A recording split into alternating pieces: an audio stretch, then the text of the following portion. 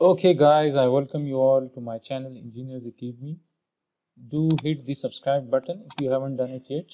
Now we are going to solve this problem which says that determine the smallest force F that must be applied along the rope in order to cause the curved rod which has a radius of 5 feet to fail at the support C. This requires a moment of M 8 pound feet to be developed at C. So we are given the magnitude of the moment that is developed by this force or tension in this AB rope. So we are given the magnitude of that moment about point C which is equal to 80 pound feet. So first of all we have to find the Cartesian vector representation of that moment about point C due to that force F. So we can find that Cartesian vector by taking the cross product of the moment arm with the force vector. So now we can define our moment arm for this force F from C to A. We can take this as our moment arm or we can take this as our moment arm. So if we take this as our moment arm, we can find it uh, very easily without doing any calculation uh, without using calculator. So we can say that this is our moment arm from C to A. So we can write that this is from C to A. So first of all, we have to find the Cartesian vector representation of the position vector from C to A and that force F. So we can write that the car that the position vector from C to A can be determined if we move along x, y, and z from C to reach that point B. So from C we need to travel 5 feet in the negative Z that is in the negative K. So I will write minus 5K. And then once we reach here we need to travel from here to here along the positive Y direction that is 7 feet in the positive Y. So that is plus 7J. And then once we reach here we have to travel 6 feet in the positive X. So I write plus 6 in the positive x means that in the positive i direction. So this is the moment arm from C to A.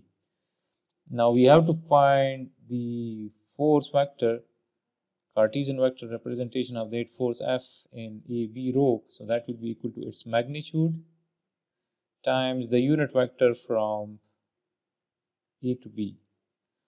So the unit vector from A to B. In this problem, we are asked to find the smallest force F. So we have to find the force magnitude when the moment is 80 pound feet.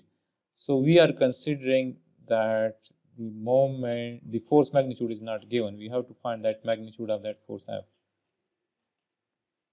So we, we, we can say that this force F and the unit vector from A to B is always the position vector from A to B divided by its magnitude. So, so now we can write that f Cartesian vector, this is f, and now the position vector from A to B. So we can write that the position vector from A to B. Again, to find the position vector from A to B, we need to travel from A along x, y, and z to reach that point B. So from A, we need to travel this distance in the negative x, and this distance from here to here, this distance is if the radius is 5 feet and it is making 60 degrees then and then this this distance is 5 cos of 60 so i will write that this is 5 cos of 60 so 5 cos of 60 so 2.5 feet in the negative z direction. So we will write that mm, uh, 2.5 feet in the negative k direction now once I reach here, I have to travel this distance. So this distance is this 7 feet minus this distance. So this is 7 minus, this distance will be 5 sine of 60. So 7 minus 5 sine of 60. So 7 minus 5 sine of 60. This gives me 2.67 feet. So this is 2.67 feet. So we have to travel 2.67 feet in the positive y, that is in the positive j. So plus 2.67 in the positive j. And then once we reach here, we have to travel this distance, this 6 feet distance in the positive x. So 6 distance in the positive i. So this is the position vector from A to B. Now we have to find its magnitude. Let me write that position vector here. So this is 6i plus 2.67 j minus 2.5 k. So now uh, we can find its magnitude, the magnitude of this position vector from A to B. This will be equal to uh, 6 square plus 2.67 square plus 2.5 square under the square root. This is 6 square plus 2.67 square plus 2.5 square and this gives me 7.03 approximately. So this is 7.03. So this is 7.03. So now we can write this as f and 6 divided by, we will divide each component uh, by 7.03. So now 6, let me write it like this. 1 divided by 7.03 multiply by 6. So this is 0 0.853, 0 0.853i plus 2.67 divided by 7.03 this is 2.67 divided by 7.03 so this is 0 0.38 0 0.380j minus 2.5 divided by that. So multiply by 2.5 so this gives me 0 0.356 0 0.356 k. So now if I multiply this force, uh, this magnitude inside, so we will have 0 0.853 F into I plus 0 0.380 F into J 0 0.356 F K. So now we have to find this determinant and this determinant is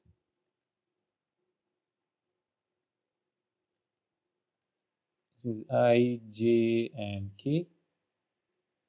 And this will be the the components of the position vector from c to a. So that is plus 6 plus 7 and minus 5 and now the components of the force so this is 0 0.853f 0 0.380f and minus 0 0.356f now if I we can take f common from this row, so we can write this that is f into this. So now we have to find the determinant of this. So we can write it like this and then we will consider this as plus i, this is minus j and plus k. So this will be this is plus i into 7 into this 7 um, multiply by minus 0 0.356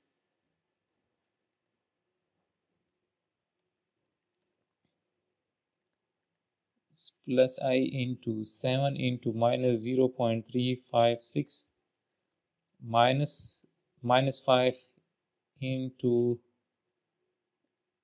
0 0.380 then we have to hide this and then that will be minus j. Minus j and this is this is 6 right? So minus this is 6 into this 6 into minus 0 0.356 and then minus minus 5 into 0 0.853 and then plus k the determinant of this. So this is plus k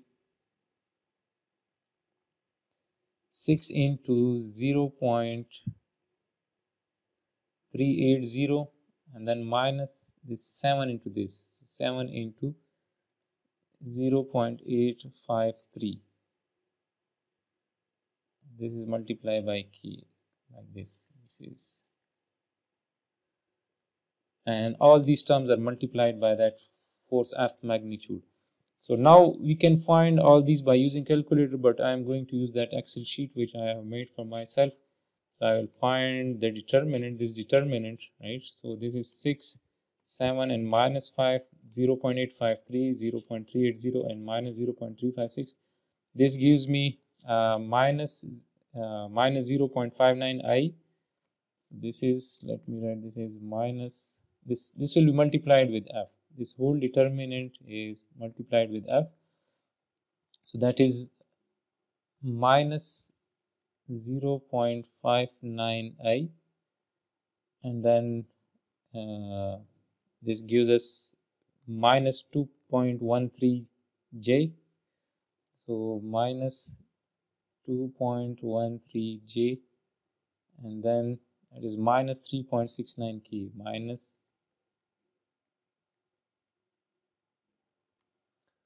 so this is the determinant right so now uh, the, this is the moment, uh, the Cartesian vector representation of that moment about point C. Now we have to find this force magnitude and we are given the magnitude of the moment about point C. So we have to find the magnitude of this. So now we can write this as if I multiply this 5 inside, so that is minus 0 0.59 Fi minus 2.13 F J minus 3.69 F. K. So now the magnitude of this moment about point C, this will be equal to minus 0.59 f square. And if we take square the minus plus doesn't matter. So let me write it is 0.59 now plus 2.13 f square plus 3.69 f square and then under the square root now we can write all these terms like this. So that is 0 0.59 square. This will be uh, 2.13 square into f square and then 3.69 in 3.69 square into f square. And now we can take this f square common from these three terms. So we will have the equation like this. And now we can write this f outside of the square root so this whole thing is multiplied with f. And this magnitude is given in the problem statement that is 80 pound feet. So this is equal to 80 pound feet. So now we we have to find this uh, magnitude that is square root 0.59 square plus 2.13 square plus 3.69 square and this gives me 4.30 so that is 4.30 into f equals to 80 and f is equal to 80 divided by 4.30 so now 80 divided by 4.30 so this gives us 18.60 so that that minimum force is that's my rest force is 18.60 pounds. So if the magnitude of this force F is 18.60, so we will have uh, that will produce a moment about points equals to 80 pound feet and which must be applied along the rope in order to cause the curved rod to fail right? So this is that force of magnitude 18.60 pounds. So this is the solution of this particular problem. I hope this will help you in your learning. If this helps in your learning, do subscribe Engineers Academy.